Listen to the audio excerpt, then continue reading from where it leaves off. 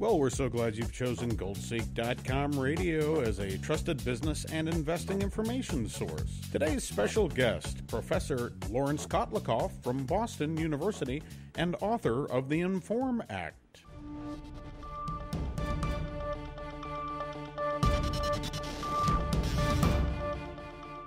Professor Kotlikoff, a professor of economics at Boston University and author of Clash of the Generations, as well as author of the Inform Act, the Intergenerational Financial Obligations Reform Act, focused on improving the welfare of every American. Welcome back, Professor. Thanks for having me. Let's begin today with your well known U.S. national debt calculation that our fiscal gap is about 15 or more times the reported $12 trillion official national debt. Maybe tell us uh, some of the implications of such an enormous debt on our national balance sheet. So, we've been running a, a Ponzi scheme for decades at the government level. Both parties have participated in it. What we do is we take money from young people, we call it taxes, we hand it to old people, and then at the same time, we promise young people that they'll get back money in the future in exchange for these taxes, uh, but they'll be but what they'll get back won't be called principal plus interest. It will be called transfer payments. Social Security, Medicare, Medicaid. These are examples. So, had we used different words, we would have a vastly larger official debt. So, what we've done is we've kept uh, liabilities off the books. We put them off the books or kept them off the books, just the same way Enron did in their accounting before they went under and were discovered. But we've uh, done, we at the, uh, the U.S. government has done this in a massive manner, uh, and it's not just. Let me be clear: the the liabilities are not just um, Medicare, Medicaid, Social Security, but there's government defense spending. We have to cover defense spending from now really through the end of time. It's not like the defense, uh, our defense needs are going to go away entirely ever. We have to pay for the president's lunch every day. There's a, a whole host of liabilities that the government has, and they also have a host of revenues coming in. And if you look in, at in present value, the value in the present of all the expenditure of commitments and all the li- and all the taxes that are uh, projected to uh, pay for those commitments, and you use the congressional budget projections here, not not mine. Uh, you find that the fiscal gap is 210 trillion dollars large, to be compared with the 13 trillion dollar in official debt that the government's reporting. So we've uh, been looking at the at the trees, not the forest. We've been looking at the bushes, really, when it comes to understanding our fiscal finances. And I'm speaking not as a uh, right-wing Republican. You know, somebody says that the country's running a Ponzi scheme might sound like somebody from the Tea Party, right? I'm actually somebody who's voted Democratic Democratic presidents for years, including President Obama twice. So it's not coming out of any partisan position. I'm not a local person. I think that both parties are uh, just awful when it comes to dealing with our fiscal uh, issues, and we're both parties are complicit in leaving enormous burdens for our kids and grandkids and uh, it's all going to end very badly. So this is strong uh, language and statements, uh, but it doesn't mean it's not true. We have in the Inform Act, if you go to the informact.org, uh, this fiscal gap accounting has been formally endorsed by over 1,200 economists from every top university in the country Princeton, Yale, Harvard, MIT, Stanford, Chicago, uh, Brown, you name it, every top place, uh, every Ivy League school is represented, and there was also 17 Nobel Prize winners who have endorsed this bill. Now, you can't get 17 economists to agree on anything, let alone 1,200, and let alone get 17 Nobel laureates to say this is what we should do. So this is the economics profession uh, in mass saying that we're cooking the books and that we need to do honest uh, long-term inter- intertemporal, what we call intertemporal budgeting. And the fiscal gap is our best tool, and it show, shows the country's bankrupt. It appears as though you're up against quite an enormous edifice. For instance, when we talk to the entrenched interests, this neo Keynesian outlook, uh, which I think, you know, John Maynard Keynes wouldn't even recognize 80 years ago. It does seem to be at the heart of what you're battling against.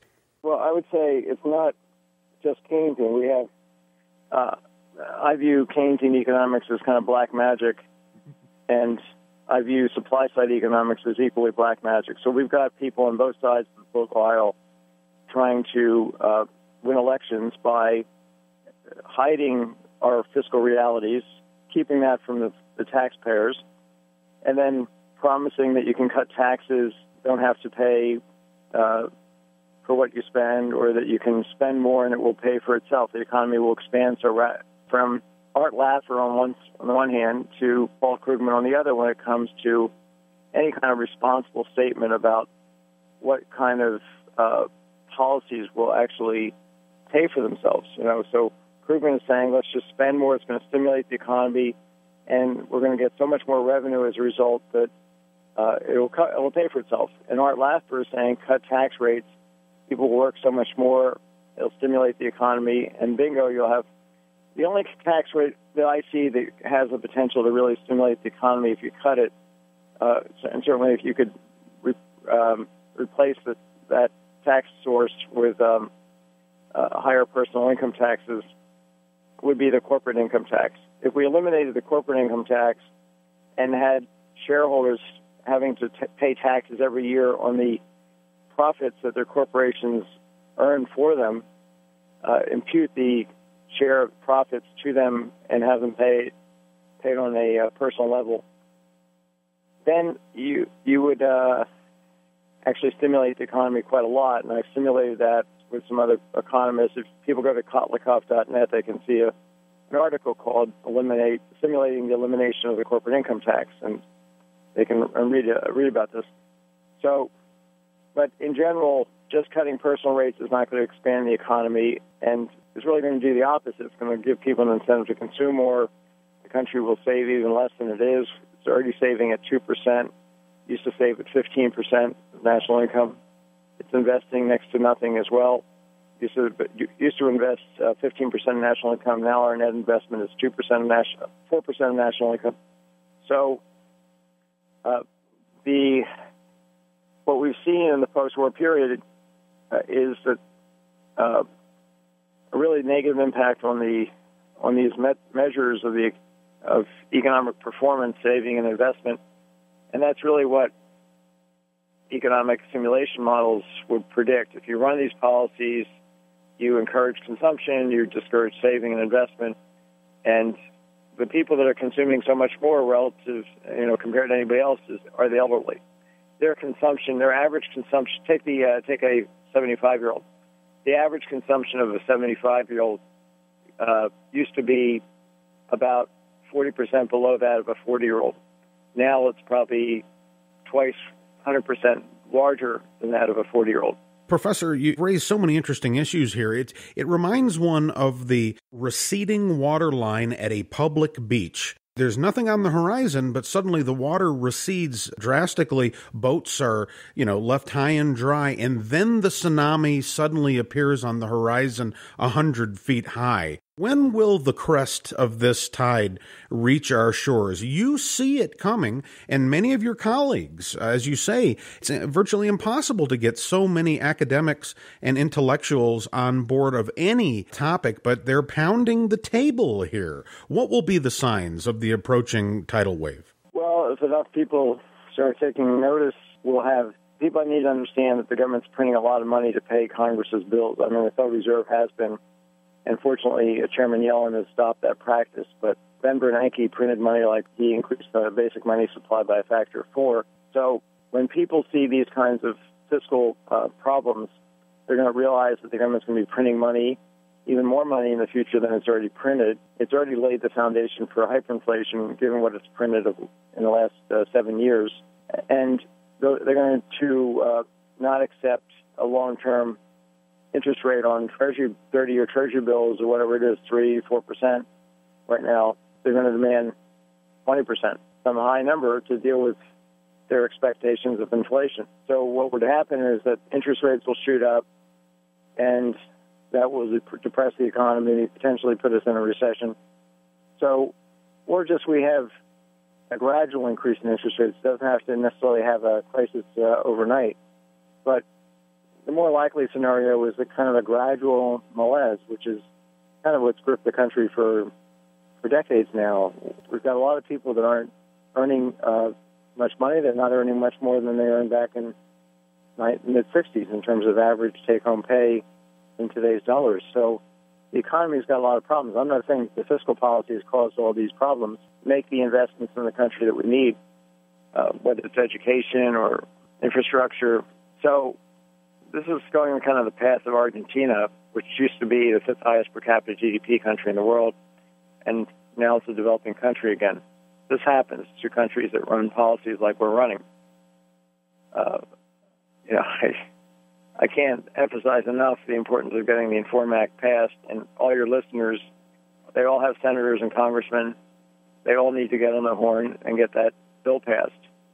And all they have to do is go to the informact.org, learn about the bill, and then really uh, get get get very active in, in supporting that bill. Professor, when you talk to many of the folks in economics today, it's just so counterintuitive to the entrenched interest, I think you'd agree is heresy, to the mindset, I think, that started around, I think you'd probably agree, around the Reagan era. But you've found the flaw, you've identified the fatal Achilles heel.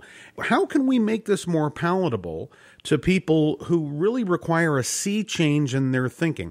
Well, they can read our book, um, The Clash of Generations, that I wrote with Scott Burns, we explain pretty clearly uh, why the fiscal gap is the only relevant measure for our fiscal situation, how and why it's so big. Uh, you know, part of it is the demographics. The country is getting relatively old, but uh, in large part, we're just spending far more than we're taking in taxes. Uh, we've, and we've been doing so for many years now. And we are continue, you know, the C- CBO, the Congressional Budget Office, is projecting that into the future, even under their most realistic scenario, which is called the alternative fiscal scenario. So we have to change course. And uh, whether you're Democrat, Republican, or Independent, if you have kids, you have to say, look, the most important thing is making sure we have a healthy economy for our kids. We can't leave them massive fiscal burdens that they, they won't be able to pay. We're going to get caught in, up in all this because uh, you know we won't get our Social Security checks or our Medicare checks. People think that Social Security is in okay, sh- you know, somewhat bad shape, but it's manageable. We can raise the taxes in Social Security a little bit, and somehow we'll be okay for a while. That's uh, not true.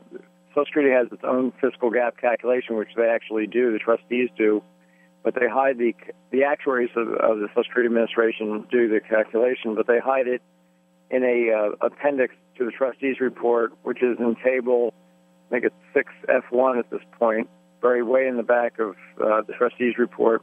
It shows the system is 33% underfinanced, and that means that we need a four cents on the dollar uh, tax hike every covered dollar, every dollar of covered earnings. Uh, you pay taxes now Social Security taxes, 12.4% employer plus employee on all your earnings up to about $117,000 right now. If we have to have a four percentage point increase, that means four cents out of every dollar up to $117,000 thousand would uh, have to go to the government, and you get nothing back. That's if we do it immediately. If we don't, the tax hike has to be even bigger.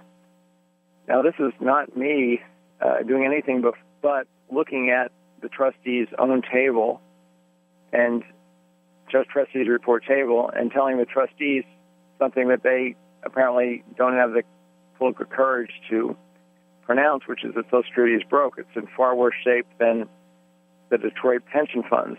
But Social Security itself is not as in bad a shape as the overall fiscal enterprise, which is about 58% underfinanced. In other words, we need an immediate and permanent 58% increase in every single tax, federal tax, FICA taxes, corporate income taxes, personal income taxes, estate and gift taxes, excise taxes, to come up in present value with $210 trillion to, to close this fiscal gap if we're just doing it through tax changes. So if people go to my website, which is kotlikoff.net, They can follow some of my columns about the this problem. Uh, I've got a website called thepurpleplans.org, thepurpleplans.org. They can um, go there. And then for personal protection, in terms of their own finances, uh, I have a small company on the side that does personal personal financial planning, and we have a website called MaximizeMySocialSecurity.com, which helps people figure out what to get, how to get the most from social Social Security. Now that may sound contradictory. Why am I decrying the financial status of Social Security and at the same time trying to help people get what's theirs? Well, the reason is that I think everybody needs to get everything, you know, we need to treat people fairly if we've got a system. So some people should not make out like bandits because they understand the ins and outs of the Social Security system, which is incredibly com- complicated, and others not. So uh, we put together this top ranked software called Maximize My Social Security, which uh, helps people. We also have another program that does long term financial planning at esplanner.com. It stands for Economic Security Planner, esplanner.com. So, you know, I do, um, I'm trying to uh, help people at the personal level, but also help our kids.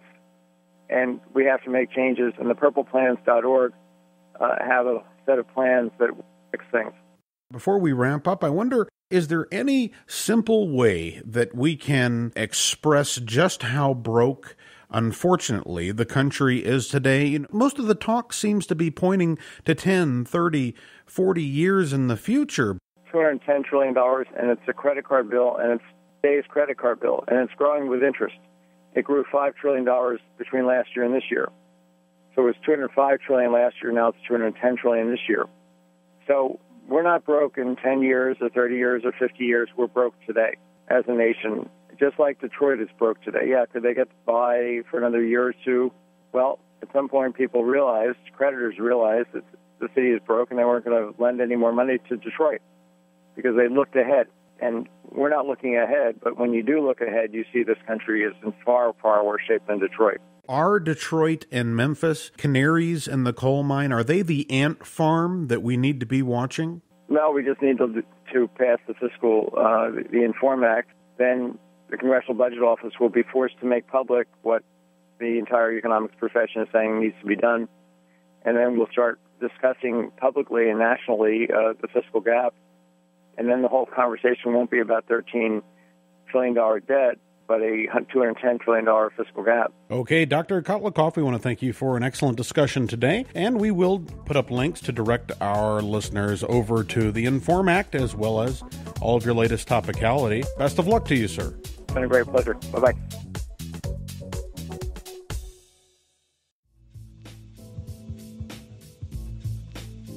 Here is your mining quiz for the day. Compliments of Gold Seek. Which company has the largest undeveloped gold reserve in North America? Seabridge Gold. Now, which company has the largest undeveloped copper reserve in North America? Seabridge Gold again. Seabridge has more gold reserves than Kinross, Yamana, and Agnico Eagle. Last year alone, Seabridge added 515 million tons of new inferred resources containing nearly 6 million ounces of gold and more than 6 billion pounds of copper at their giant KSM project in British Columbia, Canada. Now they are drilling at KSM again with multiple rigs in a 25,000 meter program. Find out more by visiting www.seabridgegold.net. Traded on the NYSE, symbol SA, and the TSX, symbol SEA. GoldSeek employees may or may not own shares. Nothing contained herein should be construed as investment advice.